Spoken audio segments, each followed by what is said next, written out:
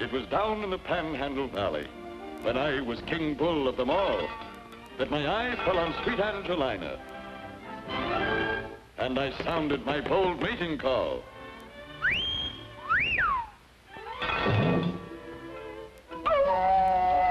She said, yes. On our honeymoon, she and I sauntered through the glamorous Grand Hotel door. And believe it or not, at that instant, the Nazis and Japs declared war. From here, from there, from everywhere, the beat of drums, the bugles blare. The guns and men were passing through. Look, holy smoke, there goes Snafu. I saw my duty. I waved her goodbye. If Snafu could make it, by gosh, so could I. I made it. And boy, was I processed. Wherever he fought, on whatever far shore, I'd follow Snafu and I'd feed him, I swore.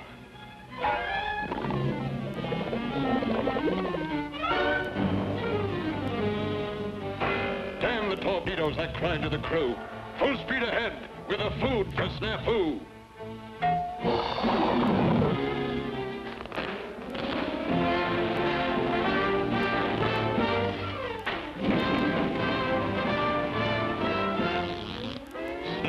Must eat. He cannot win unless he has his vitamin. Through ice and snow and sleet they crunch. They must get through with Snafu's lunch. I can't make it. I'm pooping. I'm all through.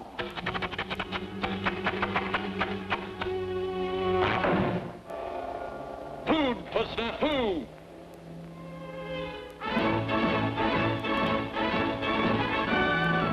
Through rain and mud and jungle heat, one only thought, let Snafu eat!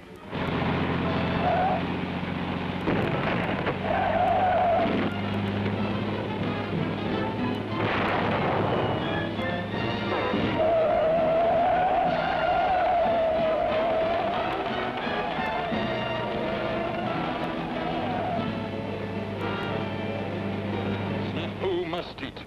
He shall not fast. In spite of bomb and shrapnel blast, the precious food arrives at last.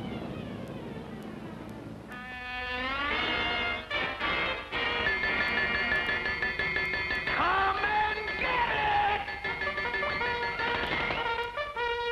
More, more. Come on, give me a little more. Attaboy, you're a good guy. Come on, give me a little more. That's it. Come on, Logan. That's more like it.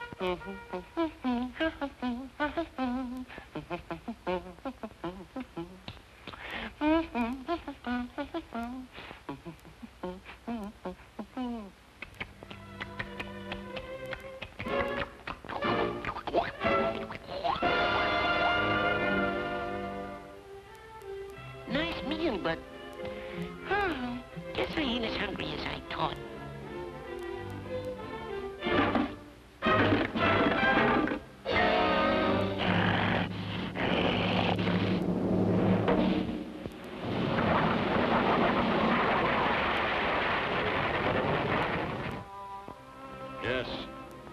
Joined up the first day of war, but now I'm regretting my haste.